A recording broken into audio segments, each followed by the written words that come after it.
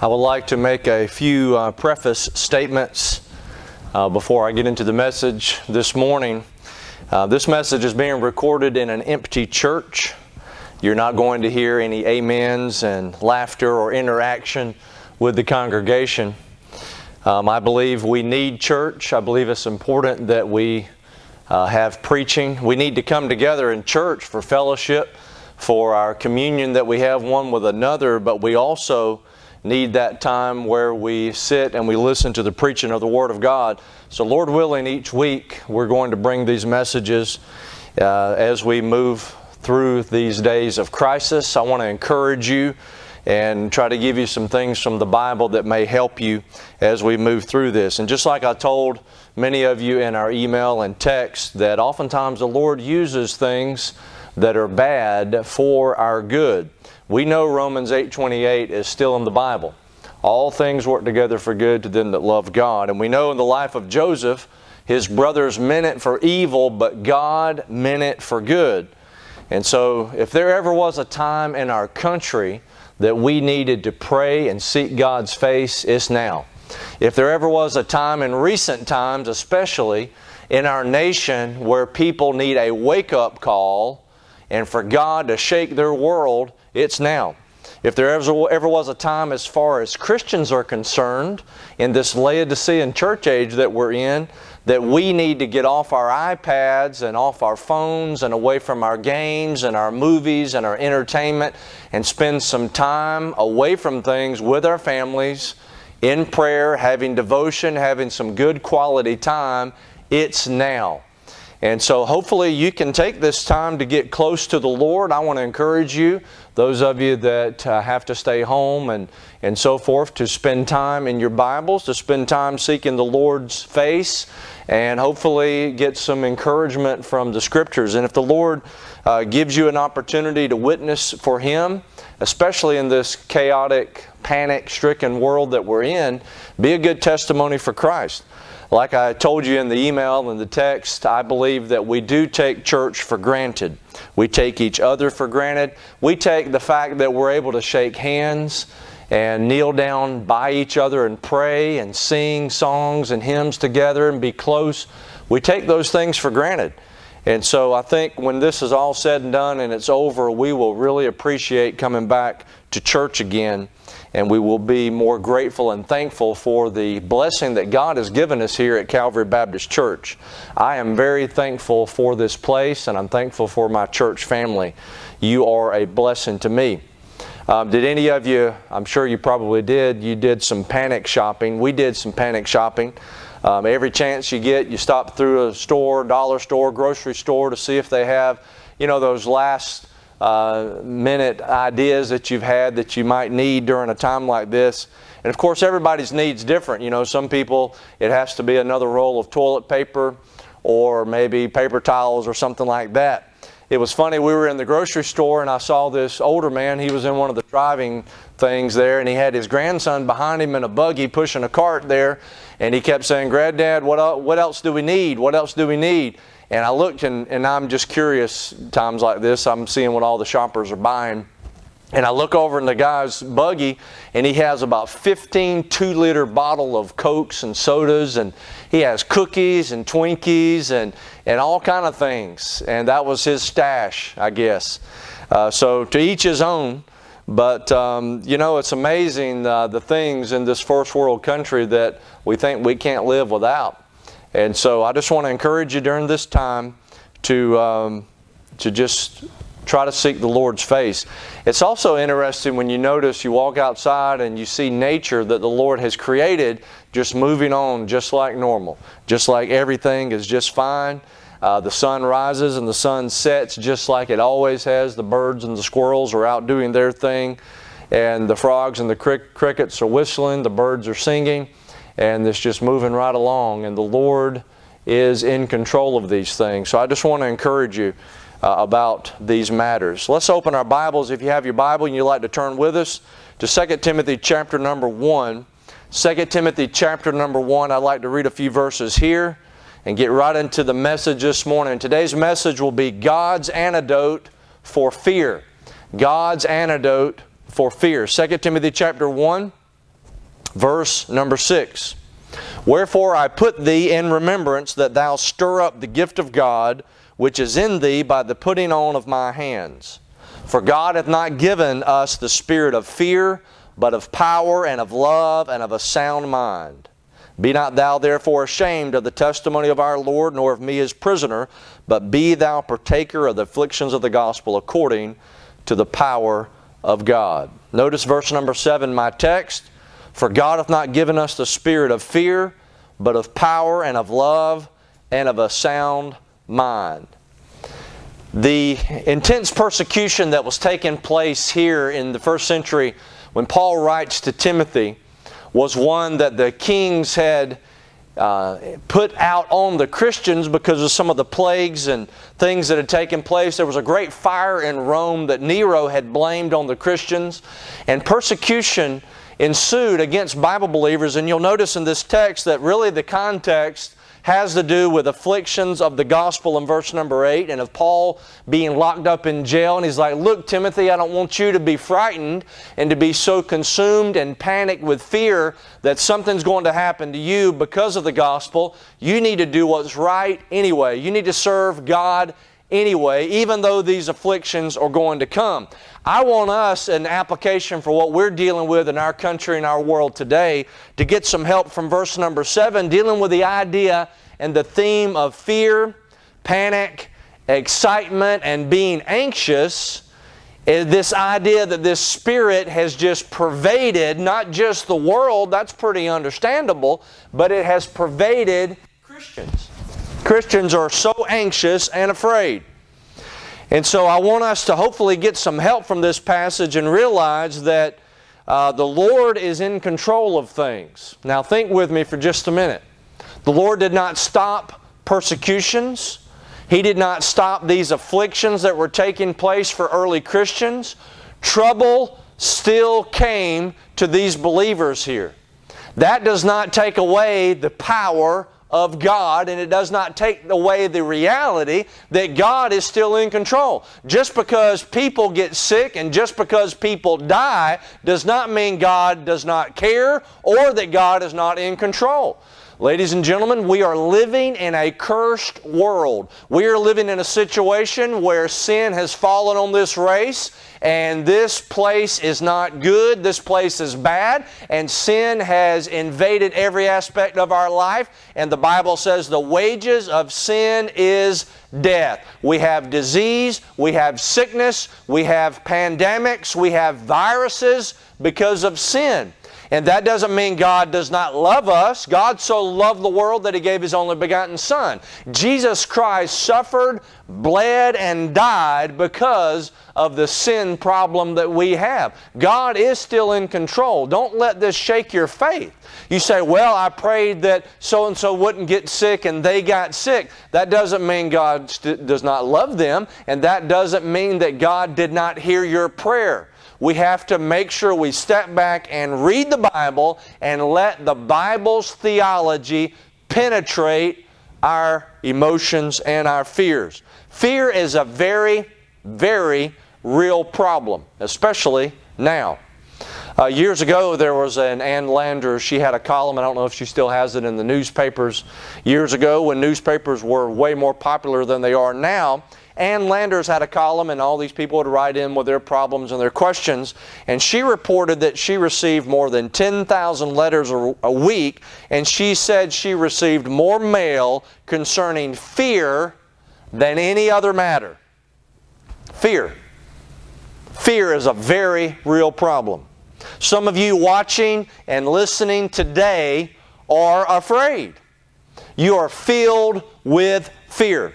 Julius Caesar, who supposedly was without fear and led thousands into battle, he once remarked that even the shouts of his enemies sounded like music to his ears.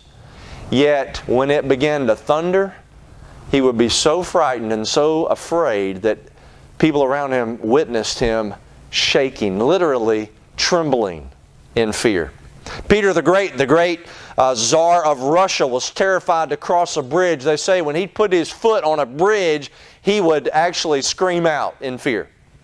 Evel Knievel, years ago, he was one of these daredevils. He would take his motorcycle and, and jump over huge ravines and do all these crazy things. He was afraid to fly in an airplane. Fear. Louis Pasteur, and of course you know the term pasteurization. Uh, Louis Pasteur is reported to have had such an irrational fear of dirt and infection that he refused to shake hands. He would fit very well in our current situation today. President and Mrs. Benjamin Harrison were so intimidated by the new fangled electricity that they installed in the White House that they didn't dare touch the switches. They would get a servant to come and touch the switches and turn it on. And if there wasn't a servant available to help them with that, they simply would just leave the lights on. They would not turn them off. Now, things aren't looking too great right now, and there's a lot of uh, anxiety, there's a lot of unknowns in this health crisis that we're dealing with. And by the way, let me calm the church down for just a minute. This is not a religious situation. This is not some type of thing that's taking place in our country targeting churches to shut churches down. This is a health crisis. Just like when you study back around World War I, 1918, 1919, after that war, you had the great Spanish flu that killed thousands. And so, whenever you study that, you realize churches had to do what any type of facility does that has large gatherings, they had to close down. This is a health crisis, and many people are afraid because in our generation we haven't face something like this where we have these restrictions placed on us and people are afraid. They're thinking, what is going on? What's going on behind the scenes? Is there an ulterior, ulterior motive? Will my freedoms be taken away? Am I going to not be able to get my medicine? What type of fear? All kind of fears. Am I going to get sick and die? Are my loved ones going to get sick and die? What is going to happen? The fears.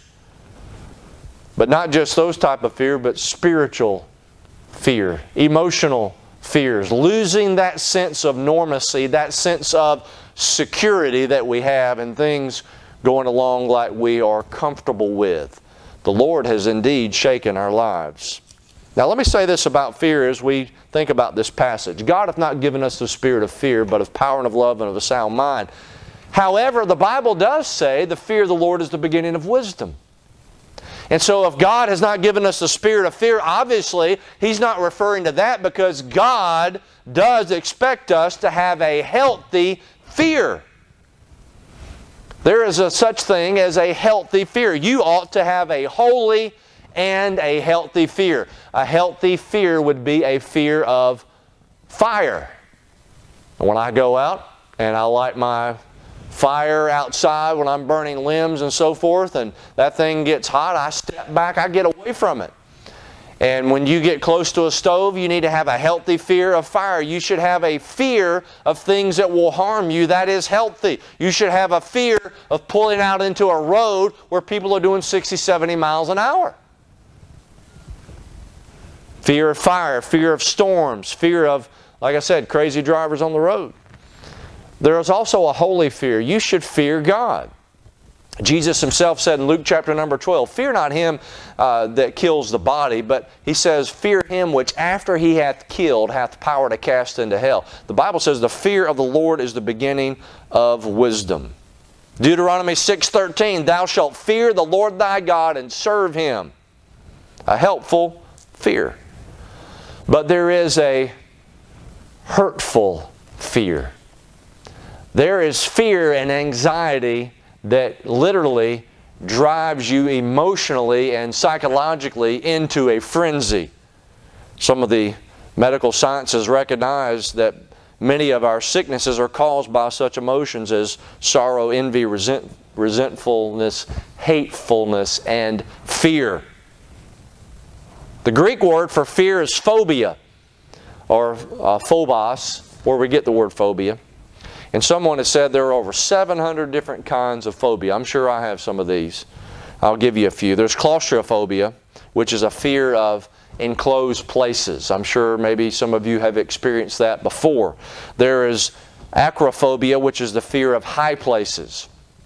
There is ergophobia, which I believe a lot of Americans have. That's the fear of work. There is demophobia, the fear of crowds. There is gamophobia, the fear of marriage.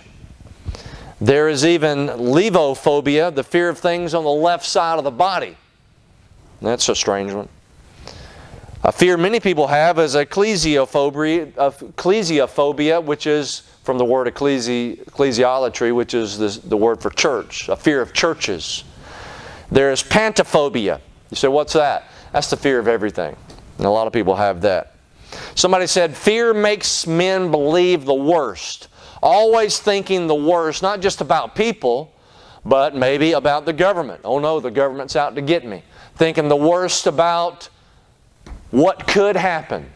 You could get sick today. That's any day, not just during the crisis we're in. You could be in the hospital by tonight. You could get a phone call where a loved one has died. There are all kind of possibilities of things we don't want to entertain in our mind. And if you focus on those negative things, you focus on those fears, it can be very hurtful and harmful. Uh, the Bible says, whatsoever things are true and just and honest and good and of, of, of good report and virtuous, if there be any praise, think on these things. You ought to be thinking on good things, on Jesus Christ. Paul said, Be simple concerning the evil. You don't need to meditate on all the sins and think about all the sins that are in the sewers of society today. You need to think on good things, think on Jesus Christ, think on heaven, think on God and the blessings that He's given you, and be thankful about some things. Instead of being worried and anxious and filled with fear of what might happen. If you're so worried about what happened tomorrow, you might not do what you should do today, and therefore you will lose your sense of purpose in this life. Once you lose your sense of purpose, you're well nigh gone. And so there's a hurtful fear. Somebody said the highway of fear is the shortest route to defeat. And somebody said the greatness of our fears shows us the littleness of our faith. Fear and faith oftentimes are at complete opposite ends. You're either going to fear the Lord or you will fear man. Or if you fear man, you will not fear the Lord.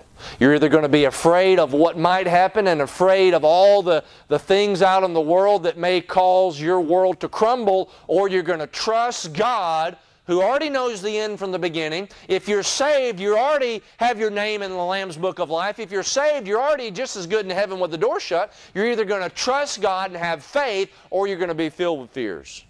Romans 8:15 You have not received the spirit of bondage again to fear but you have received the spirit of adoption whereby we cry, cry Abba Father there's a spirit of fear that pervades our society it also pervades, unfortunately, the lives of many, many Christians.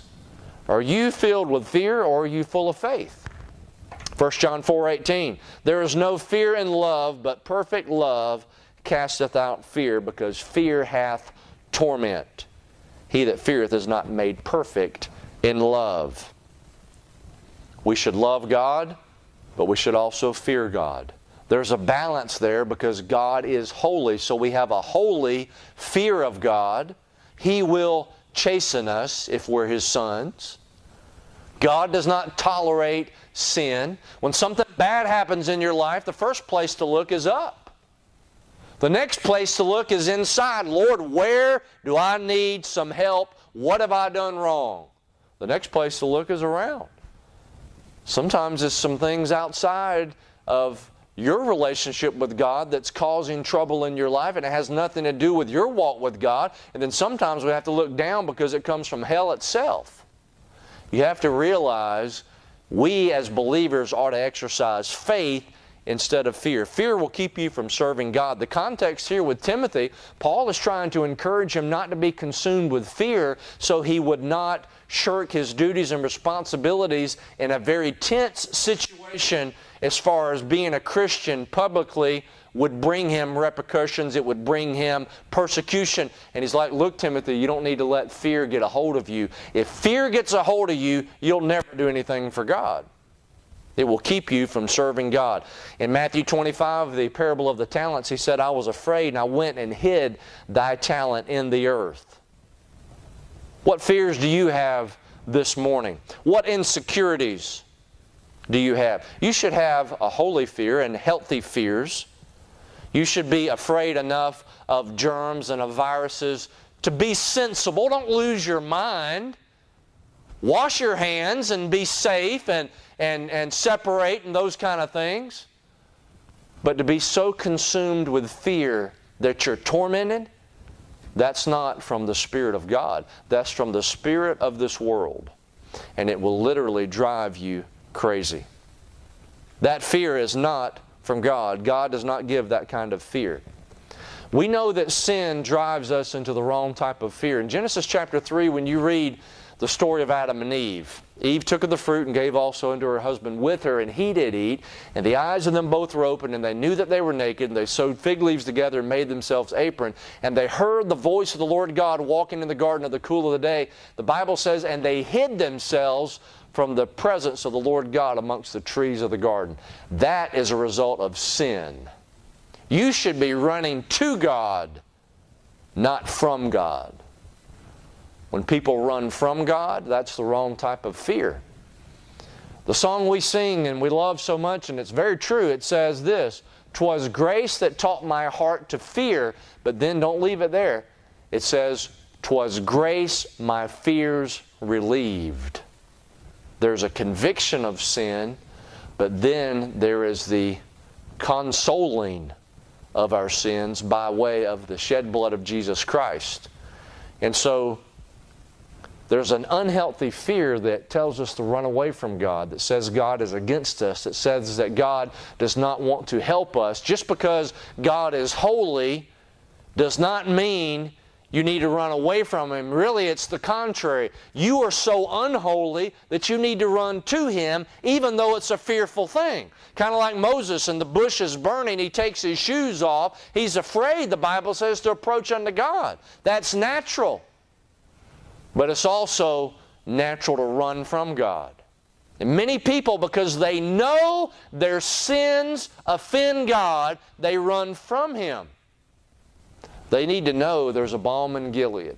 They need to know there's a fountain filled with blood drawn from Emmanuel's veins, and sinners plunge beneath that flood lose all their guilty stains. If you are a sinner that is running from God, I want to encourage you and exhort you to run to God. Come to the foot of the cross and find forgiveness.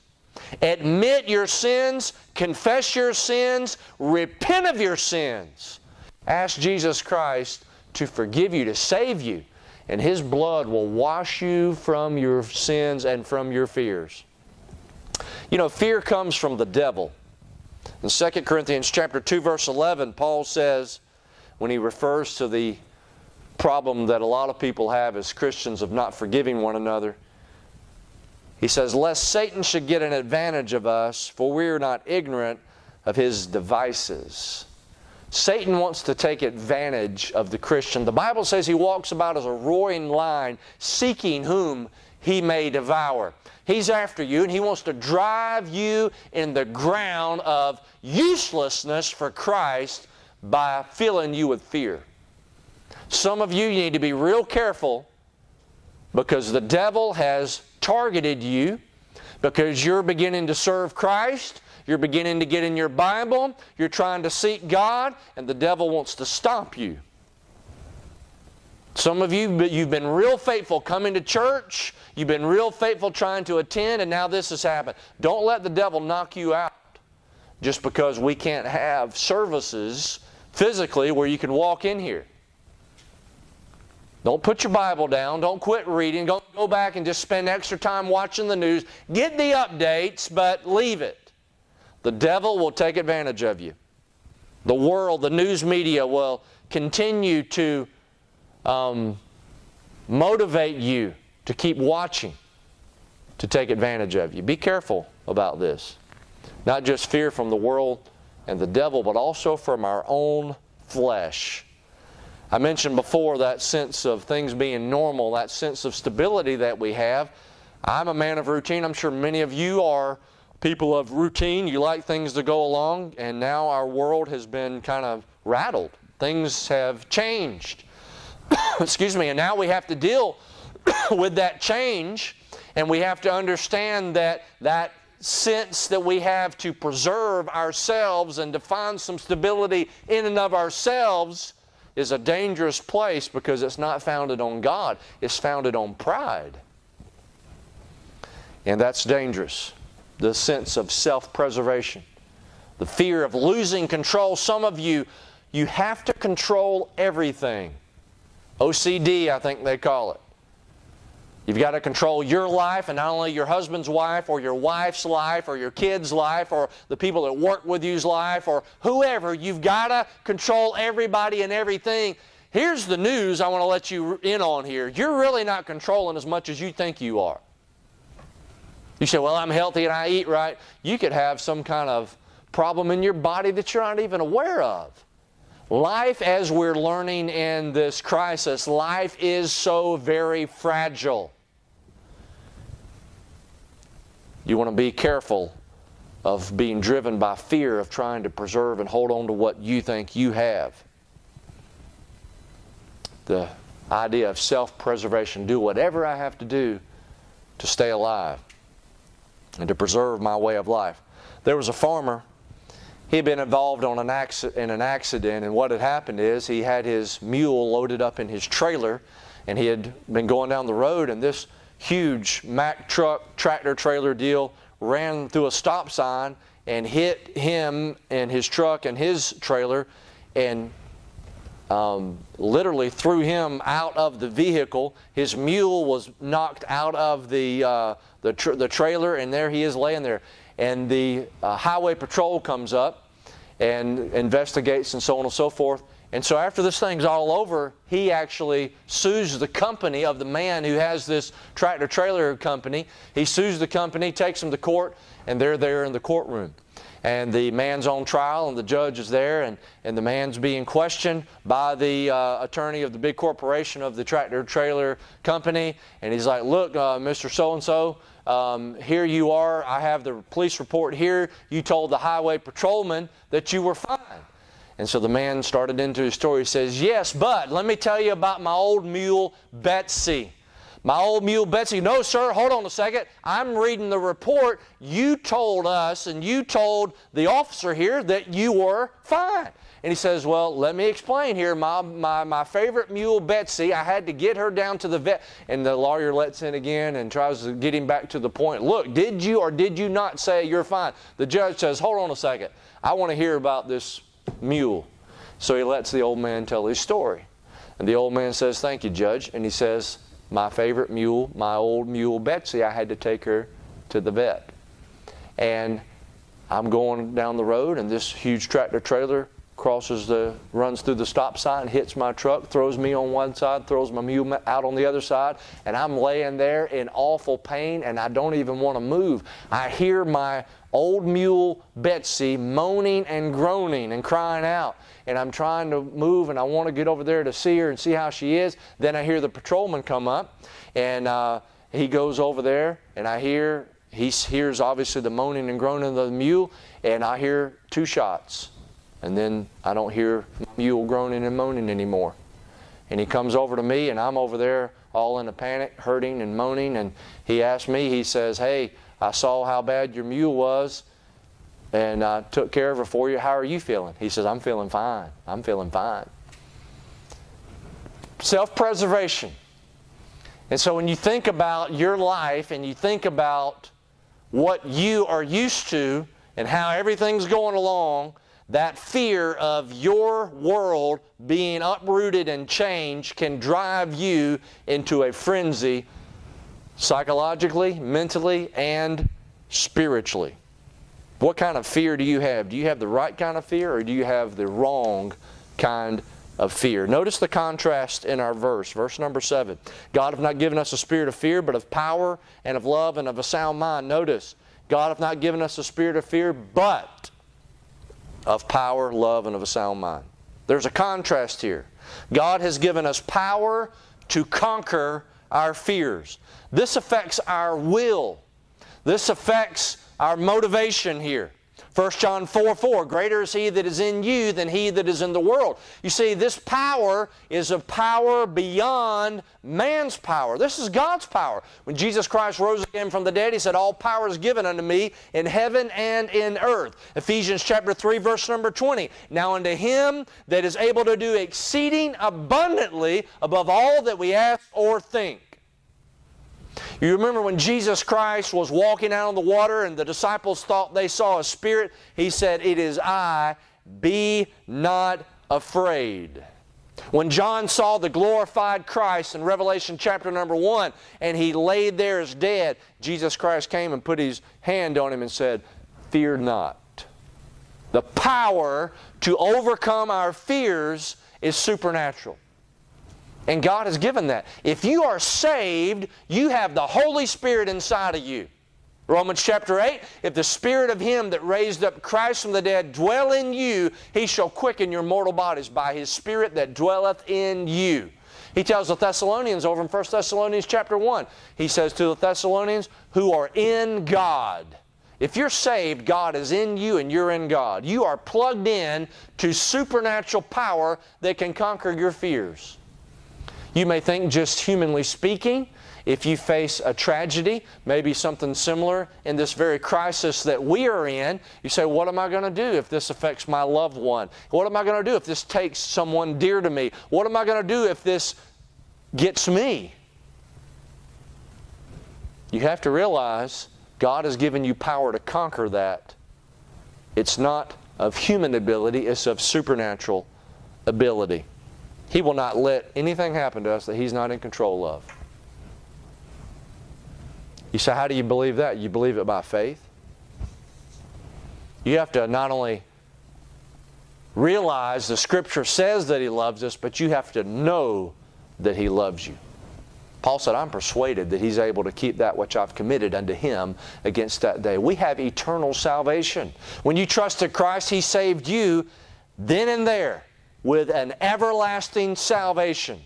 You're plugged into eternity. No past, no present, no future. Eternity. God so loved the world, He gave His only begotten Son, that whosoever believeth in Him should not perish, but have everlasting life. You can't go to hell. The worst thing that can happen to you if you're saved is you die and go to heaven. People say, well, they're threatening me with this and threatening me with that, and this problem may come. What are they going to threaten you with heaven? As Christians, we are more than conquerors, Paul says, through Him that loved us. Power to conquer our fears. This affects the will. Notice love to calm our fears. This affects our heart and our affections. We need not only to be motivated and to have a will to act and to do and to plow through things, you can't always get over things, but God can give you power to get through things. But we need to have love. We need to have affection. We need to have a calmness. 1 John 4:18 There is no fear in love. I quoted it earlier, but perfect love casteth out fear. And then notice verse number 7 and of a sound mind. This commits our fears to him. This concerns our thoughts. He's given you a sound mind. I want to deal with spiritual things because I'm a preacher. I'm not a psychologist. That's not in what my field is an expert in, and I'm not an expert in the Bible. But as a preacher, I want to tell you the Scripture says that God has given you a sound mind. Now, that's God's part, but then we have our part. You can't just take one verse and divorce the rest of Scripture from that. You have to realize the Bible also says, Thou wilt keep him in perfect peace, Isaiah 26 3, whose mind is stayed on thee. God's part, our part. God's responsibility, our responsibility. D.L. Moody's favorite verse was Isaiah 12, verse 2 Behold, God is my salvation. I will trust and not be afraid. You see, our part is to trust. Our part is to think on Him.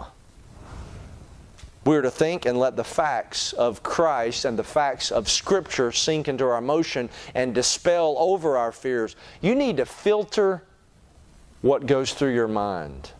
God has given you a sound mind, but some of you, you're not feeding your mind the right things. Like I mentioned previously, please take time, especially if you have some extra time, to get in the Bible and let the Bible get into you. God has given us a sound mind. He tells us to cast down imaginations and every high thought that exalteth itself against the knowledge of God and bring into captivity every thought to the obedience of Christ.